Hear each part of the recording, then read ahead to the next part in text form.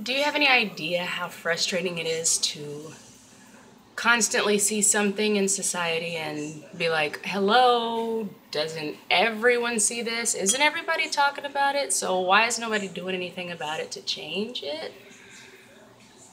It's kind of exactly specifically like the issue with black and brown communities in America.